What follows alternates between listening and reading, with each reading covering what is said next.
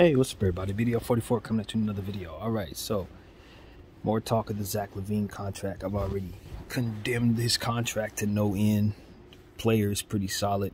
I mean, I'm not overly enthused about bringing him in based on that contract. Uh, the fit would be cool. Like, really cool is the word that, that comes to mind. Um, the thing about it is, you know, I don't want to recap the same stuff, but I do want to just kind of weigh in and just say a little bit Zach LaVine's a, nice player that can really electrify the crowd. His contract is just getting started at like 30 plus million a year. And he's had injury issues that span back basically to the beginning of his career, including knee surgery. Now, he does have super athleticism that allows him to jump out the gym better than anybody, but it doesn't translate to him being durable at all. And I look at the idea of what they're trying to do, which is pairing his contract with AD, and I'm like, he's not even a player who's going to particularly complement AD at all. When you consider what it is AD needs, he really needs someone who could do what he does so he could sit. Not somebody who's just as injury prone as him on a contract that's going to stifle us to having bad players as role players once again. I just don't think that's something to want. And if Jeanie Buss is paying close enough attention, she will look and see that is exactly that something that's going to anchor her to having most of her cap wrapped up in injury prone players. You know, it's like that's all he's targeting. Raub is he wants Bradley Beal who misses like 30 uh, games a season and Zach LaVine who misses like 30 games a season. You go to Parrot next to AD who misses 30 games a season. It's like what are we do we want what's right for us or are we just trying to do the wrong thing and hope it works out? Like you know, I'm, I'm irritated with the news, but I'm not so much irritated because I understand that this could be funneled to us to make the Lakers look bad. This could be funneled to us to force the Lakers into taking on deals that they don't want to take on, or maybe uh, this could be something that could be used as leverage to kind of use be misdirection. You know, it's a lot of different things. But my thing is, if I'm looking at it at face value, Zach LaVine's contract is a salary dump. And if I'm going to require that salary dump, I'm going to want some draft equity to come with it. And that's the bottom line. You're going to have to give me the draft equity that's going to make that be something that I can live with. And in looking at his contract and in looking at how what I expect of him and then looking at what I have, essentially the Bulls don't have enough picks. They don't have enough picks. They're going to have to throw in a third team to get more pick equity to make that something I personally want as BDF44, the Laker fan. I They don't have enough picks. You're to have to give me about eight picks to take on the stranglehold that I believe Zach LaVine's contract actually is. Because I don't look at Zach LaVine as a winner.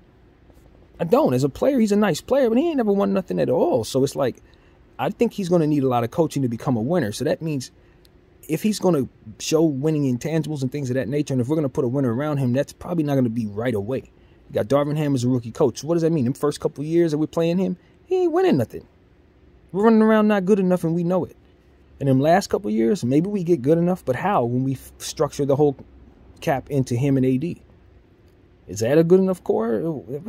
No, of course not. Like, come on, man. Listen, I'm a Laker fan who's not really all that enthused about the rumors. Obviously, we have problems and we're really stranglehold and we don't have a lot of options, it seems.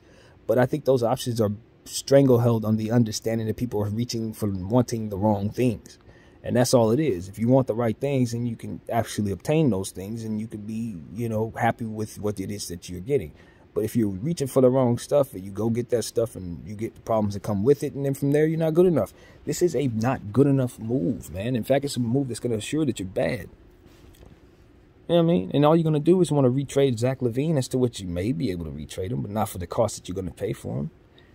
And so that's really what it is. It's just I want the Lakers to definitely not acquire any expensive contracts. I want the Lakers to definitely not look at this as their jewelry shopping, as I said in my previous video. You, when you look for basketball players, you want discounts, you want guys on rookie contracts, G League guys who could, you know, propel themselves into role players, and, and, and, and guys that you're not paying a million times more than you should uh, to do the job, you know, and uh, in a way that they're not going to be able to deliver because of how you're structuring it. It's like a double-edged sword too. It's like not only are you not leaning properly because you're trying to build around three guys, but because you're building around three guys, you're going to be leaning on them because other guys are going to suck. So it's like, Jesus, we're seeing that. Why are we continuing to sign up for that? You know, it's like I want our team to hear my voice in regards to this because I just don't like the path that it, it sends us down. It's not a good enough team. You're just okay. And you're adhering to pressures that are manufactured by media that can't even survive without you. You know, we're sitting up here trying to, oh, they're going to talk about us if we don't have superstar talent. They, they need to talk about us, regardless of who's in the uniform. It's like, it's not even about that. They're going to talk about the Lakers if, if, if, if I'm putting on the uniform because they need to talk about the Lakers to stay relevant. So it's like you don't you control what they do, not the other way around. Stop letting their pressure put crap, you know, in our, our situation based on adhering to it. No, what the Lakers should be doing is things the correct way. Then from there, they can plaster that out into the world because they're going to talk about the Lakers and how they're doing things correctly. Look at the Lakers rebuild. Oh, they're going with their young talent. And then those young talent would be superstars. Why? Because they're wearing Laker colors. Whoever we put in the uniform is going to be a star because we're going to make them a star. So the Lakers just got to start looking and wanting the things that they're, they're actually going to help their franchise. Because at the end of the day, at this point, it's the complete opposite. This, and we can see it. And they're reaching for the wrong things, and they're going to have more of a hole, and their franchise is going to suck because of it. And it's going to be a, it's going to be a domino effect that creates more problems for Jeanie. And she needs to see that. Like this is a headache for you, and you're heading down this path purposefully. And you got some really good fans who really love the team telling you this. Stop wanting the wrong stuff in regards to this basketball club. We should want young talent, un inexpensive talent, unproven guys who are eager to play well. Then we will have a good, deep team that superstars will want to come to, and we'll have good, you know, cap situations that they can be slotted into. And then from there, we can keep them, and we'll have the foundation that we're looking for, and it won't be us skipping steps or saying that it took, you know, the fans aren't going to be able to handle it because it takes too long. I'm a fan telling you that I'm here all lifelong. And that means that I don't want to look out down the next 10 years and see a team that isn't any good because we didn't do things the right way right now. Y'all trying to put players on this team that are just going to slowly but surely meet father time. It's like, why the hell are we signing up for more father time nonsense? I don't want father time, bro. I want youngsters who are far and away away from that. You know what I'm saying? So that's my attitude. The father time, you know, grandfather Laker mindset. Let's let's reach for yesterday's stars and give them all the money in the world so they can not be good enough. Uh, mindset is a loser mentality that's going to keep us from getting banners, and I don't want no part of it. I look at that as no different than any other antagonist that's trying to beat my team. You, are the Jazz, you are the Celtics, you are the Clippers, you are the Blazers. If you're working against us from within our organization and making us garbage, you are just another thing that needs to be overcome. And so that, that's the reality of it. We need to start putting pressure on people to not do the wrong things really fast, but to start running the right things and getting it done. Please start running the right things, Lakers. Please trade whatever you need to trade to reset your timeline so that you can have that foundation. And if the team is not very good because of it, that's equivalent to what it is that we're looking at right now. That's the bottom line. It's the same thing. We suck right now. So that's that's why I'm saying let's do this. Do the teardown, rebuild. If you could trade AD right now for a bunch of picks, if someone will actually pay that super price for him while he's hurt, which some of these teams actually should consider, given their circumstances, um, we should do that. We should make him. We should trade him today if they'd be willing to trade him, uh, take take on his contract for six, seven and a half picks and some players or something like you do that. Trade him to the Knicks right now. You know what I'm saying? Trade him to the Knicks right now. And when he gets healthy, he'll be right back ready to play with Julius Randle like he did in New Orleans. They'll make the playoffs. They'll probably even make the finals. That Knicks team is strong if they don't give up all their players. And in this case, they wouldn't be because they're giving me all their picks. I don't need none of those players. You can give me one of them. I'll take Quickley or something. But other than that, I mean, I don't need no players. We're not trying to get better. We're just trying to get a future. Seriously, yeah, let's, let's just be honest. I can keep my same young role players in rotation. Give me a couple players to to revamp the rest of the roster, and let's just finish out the season. I'd have traded AD for like seven picks and, a, and whatever the equivalent is. If I would have got back some players, I'd have parlayed them to another team to get more picks. I'm telling you, the rebuild would be real. I'm Utah. I'm Utah, y'all. That's where I'm at with it. This is Utah Jazz. We shaving everything. And in the summertime, if LeBron James wants to be a part of it, we here. We we you're part of the rebuild, and the team's gonna be good too because the young talent's gonna be awesome. We just gotta help them get better and, and lead them by scoring like you're doing now. He would be in the same team he's on now, just a lot better because the youngsters would be better. That's it. And get his same 30 points, chase down Kareem, probably already passing by then. But like this is one of those situations where like he could have a good Laker team in two years. It wouldn't take no time because somebody gonna want to join him and be a part of this with all these good youngsters that we be developing. You go play with LeBron, yeah. You, how much do you think they need if the the kids are good? All they probably need is you. All they need is Kyrie. All they need, you know what I'm saying? They don't need much if the kids are good. So that's what my mindset is. I already got a couple on this team that I like. You know what I mean? Some guys that I know are going to help us as they go forward. Probably not going to be too expensive too.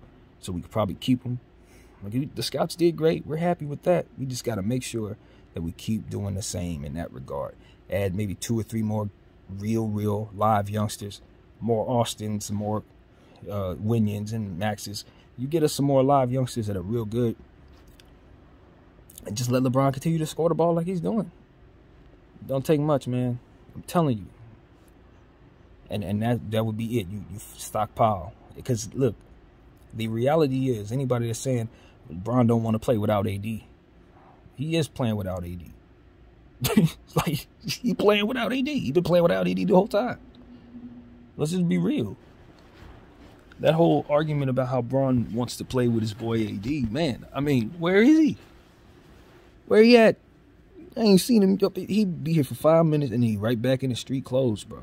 So this whole argument about us needing to keep Anthony Davis, that argument is basically shot. This this injury, this particular injury, shot that argument in the foot. No pun intended at all. But like, it seriously, this this it's over with. We got to trade him if we can get all that stuff that we can. That's our responsibility at this point. Because you building forward with him, and then y'all want to bring Zach LaVine in. That don't make no kind of sense. If you're gonna bring me Zach LaVine, you better get rid of Anthony Davis so that we can have some stability elsewhere. Because injury prone players everywhere is uh is exactly as bad as it sounds in the words. that's, that's what it's gonna be. You're gonna be missing players. This team's still gonna look just like it do right now. So hey, if that's what the Lakers want to sign up for, it's gonna be a lot of fans who are gonna tune out. It's gonna be a lot of fans gonna be tuned out, and it's gonna be a lot of LeBron fans that's gonna be screaming, "Get my guy out of there!" Which they should probably already be screaming. To be honest with you. I'm a Laker fan that, that is a realist. I'm a Laker fan that is not overly exalted in myself and none of that. So I could tell you when the Lakers are, are a place that they that LeBron shouldn't want to be at. Yes, we yeah, we're there. We're about there. Regardless of who made what mistakes or what or why, it doesn't matter. If it's his fault, it, it doesn't matter. You know, like literally, it's not about that from his perspective. it's about what he should want and where he how he should feel. He should want out. He should want out. These people ain't handling business properly, regardless whose fault it is. It's as simple as that. So eh, I want the Lakers to make a trade with the Charlotte Hornets that doesn't involve bringing back Terry Rozier. It doesn't involve bringing back Gordon Hayward, but involves bringing back all that other stuff that they're finding, all popping up all over their roster. And I want to make a trade with the Pacers too. It ain't got nothing to do with with Miles Turner. It got nothing to do with Buddy Hield and them contracts that we have no interest in taking. No, I want some of them young kids that they're popping up all over their roster. You see what I'm saying? You're reaching for the wrong stuff. Yeah, I want to do with the deal with the Washington Wizards. Maybe it can involve Kyle Kuzma, but I want some of those other players like like Kispert and and, and, and Goodwin that are popping up on the roster. That's the stuff that we should actually want, not the crap that we're reaching for. Yeah, I like to do a deal with the Bulls for sure, but I want Dalen Terry. I want Patrick Williams. You know what I'm saying? I want Coby White. I want Ayo Dosunmu.